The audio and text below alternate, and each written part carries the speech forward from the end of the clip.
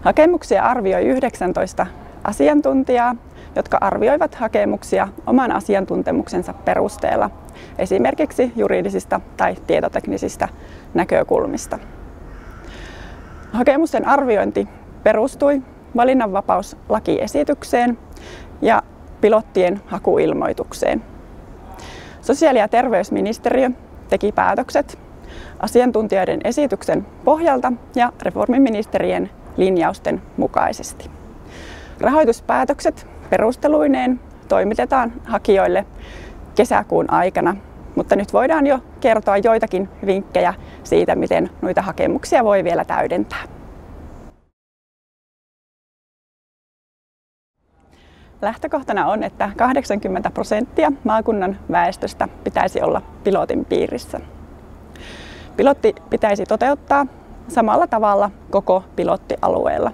Eli ei voi esimerkiksi olla niin, että jossakin kunnassa pilotti sisältäisi erilaisia palveluita kuin jossakin toisessa kunnassa.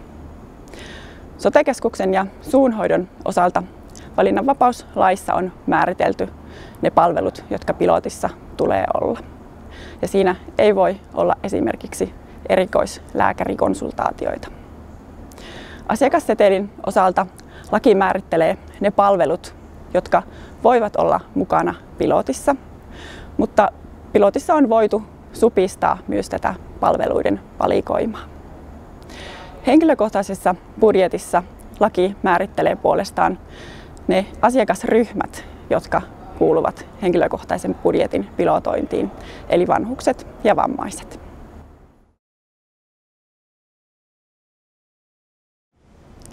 Joidenkin hakemusten osalta palvelun tuottajien mukaantuloprosessia pitää vielä tarkentaa. Ja joissakin hakemuksissa täytyy korjata sitä, että palvelun tuottajat eivät voi tulla pilottiin mukaan porrasteisesti. Samoin palvelun tuottajille maksettavia korvauksia tulee joidenkin hakemusten osalta vielä tarkentaa.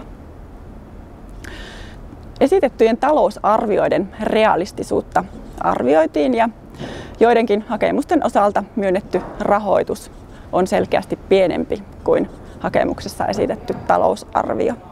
Eli näissä tapauksissa piloteissa joudutaan vielä sopeuttamaan hankesuunnitelmaa tuohon myönnettyyn rahoitukseen. Pilottien tiedon tuotantoa arvioitiin. Esimerkiksi kuinka hyvin ne tuottavat tietoa kustannusvaikutuksista tai asiakkaisiin kohdistuvista vaikutuksista. Pilottien tulee tuottaa tietoa kaikkien muidenkin maakuntien käyttöön. Nämä kaikki seikat ovat siis niitä, joita, joita noissa hakemusten arvioinneissa käytiin läpi ja ne vaikuttivat näiden pilottien valintaan. Nyt jo valituilta piloteilta pyydetään vielä joihinkin näistä asioista täydennyksiä ja korjauksia.